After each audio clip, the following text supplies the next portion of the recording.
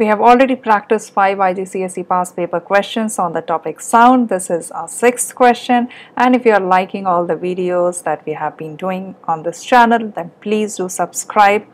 Before I start this question again I would remind to you all that please pause the video, try to solve the question yourself, come back and play the video to look at the answers. So let us understand what is happening in the question. State the range of the frequency of the sound which can be heard by a healthy human ear. I just read part A of the question. What is the range of frequencies? Now there are certain set of numbers that you need to remember and by heart them. As I told you, this is also a number that you need to by heart. 20 to 20,000 hertz. It's the range of frequency which can be heard by a healthy human ear. Similarly, the speed of light, the speed of sound, these are the numbers that you need to by heart and remember. So this is your answer already explained in the theory videos as well. Now part B, compressions and rarefaction occur along the path of the sound wave. State in terms of the behavior of molecule what is meant by compressions and rarefaction. So as we have solved so many questions already, five questions already, you would have understood a pattern. That these questions, the questions to define compressions and rarefaction are very, very common. So you need to learn how to write the answer for these. We have already practiced this time and again in the previous set of questions. That's why solving past paper question is a good habit because when you sit for your final exams, finally after completing your syllabus, you'll not get shocked when you look at the question paper. You'll automatically understand and expect when you see these kind of questions in the question paper because you would have already solved them in your practice, right? So better than getting shocked while sitting in the examination hall, it's a good idea that you go through the past papers and practice these questions yourself.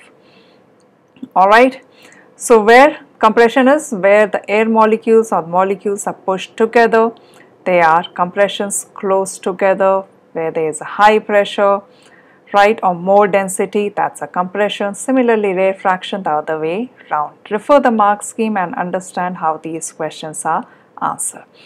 So 20, as we answered for the part A, 20 to 20,000 hertz.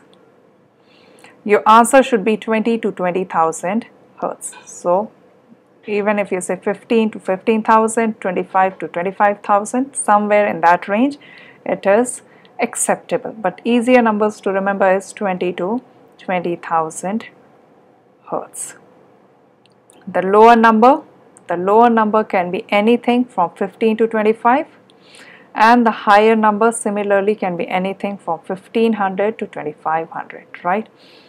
Your wish to memorize what these numbers because questions on these are very very common. Do not lose marks just because you fail to memorize such easy numbers right? Let us come to the part C state the effect on what is heard by a listener when there is an increase in the amplitude.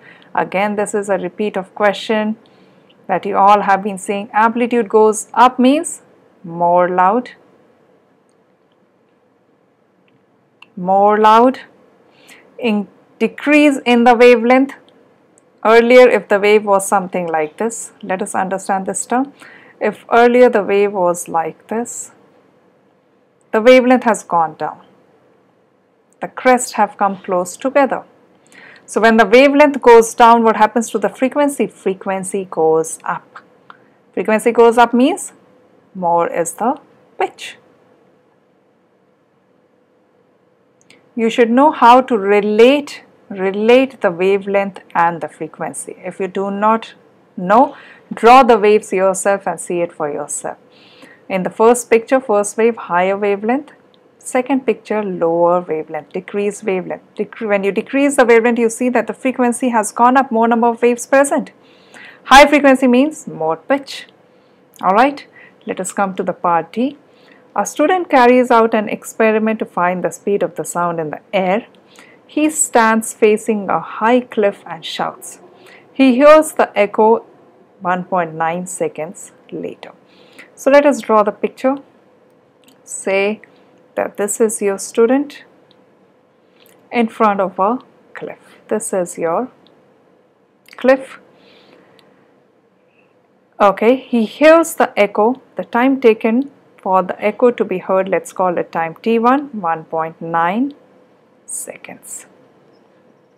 He then walks 250 meters further away from the cliff and shouts again.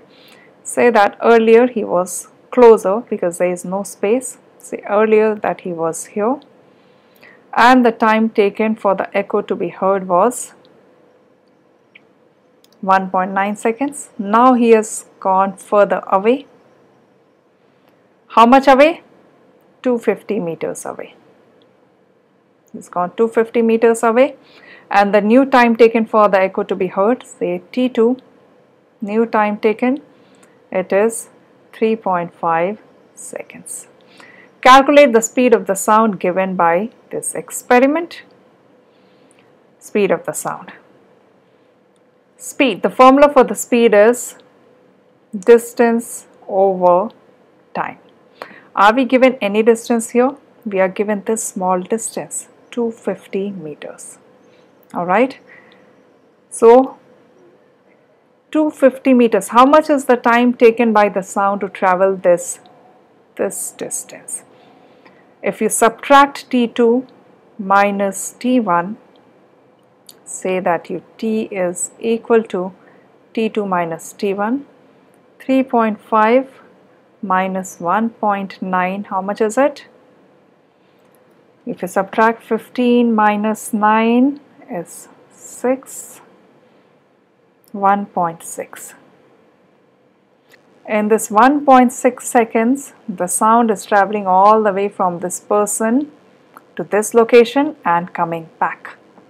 And this particular time time t is equal to 1.5 1.6 seconds the sound is traveling this 250 meters twice because the sound is going all the way here and coming back right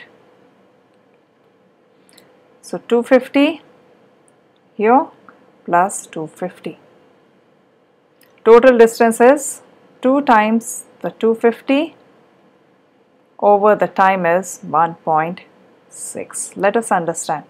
In this 1.9 seconds, when the person was at this place, the sound was traveling all the way to the cliff and coming back in 1.9 seconds. Traveling all the way to the cliff and coming back because we are talking about echo. We are talking about reflection, two directions of the sound, right? When the person was in the other location, T2 the time 3.5 second is the time taken by the sound to travel all the way to the cliff and come back to this location. So now the time t which is t2 minus t1 which is 1.6 is the time taken by the sound to travel all the way to this location and come back which is 250 plus 250 500 divided by 1.6. If you do these calculation you should get your answer let us see they are doing the same thing 500 divided by 1.6 which is 312.5 meters. Your answer should be 312.5 meters. Alright if you still have any questions or any queries you can get back to me in the comment section. Here I am showing the mark scheme for you all to refer again. And if you have any doubts please get back to me in the comment section. Thank you.